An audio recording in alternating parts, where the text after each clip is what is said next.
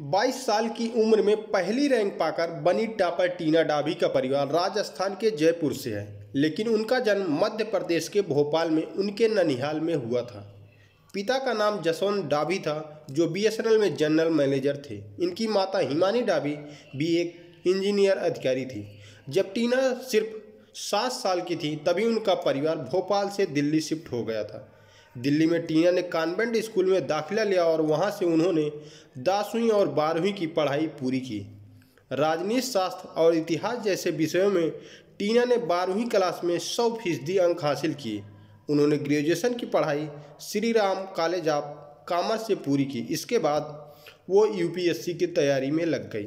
महज 22 साल की उम्र में टीना डाभी ने साल 2015 में यूपीएससी परीक्षा में पहली रैंक हासिल की।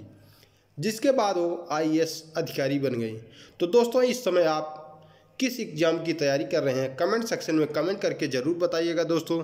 यदि वीडियो पसंद आए तो लाइक, सब्सक्राइब और शेयर करना मत भूलिएगा दोस्तों।